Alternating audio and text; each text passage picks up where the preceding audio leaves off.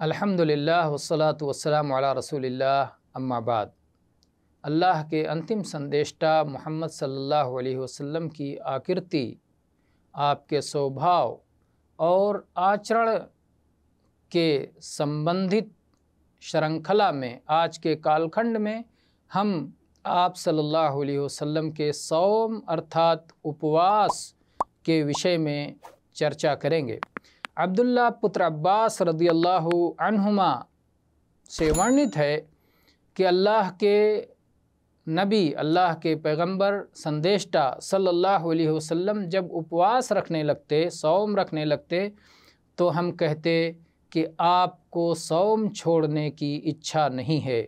और जब आप उपवास नहीं रखते तो हम ये कहने लगते कि अब आपको उपवास रखने की इच्छा नहीं है, उपवास करने की इच्छा नहीं है।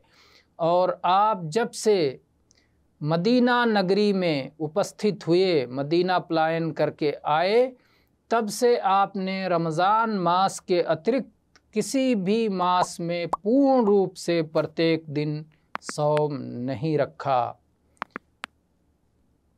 तो इस हदीस का उल्लेख इमाम मुस्लिम ने किया है। वल्लाहु आलम।